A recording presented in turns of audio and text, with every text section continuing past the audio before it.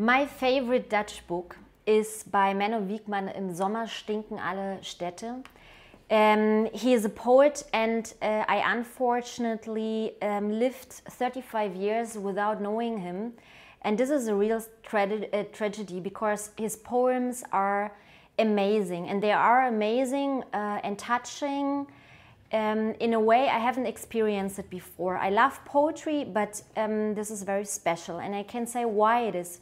There is something uh, in his voice um, that is uh, beautifully melancholic. Um, I love the rhythm. It is musical. It is very musical.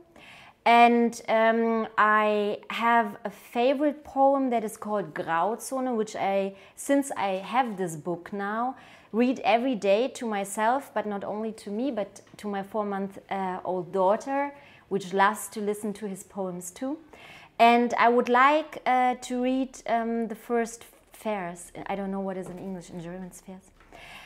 Wenn dies lieblose Jahrhundert beim alten Eisen ist, dann sag mir, wer hat die größte Klappe, wer zieht zuerst den Dolch und säbelt seine Ängste weg, wer springt den Spiegel an, wer rückt Treblinka gerade.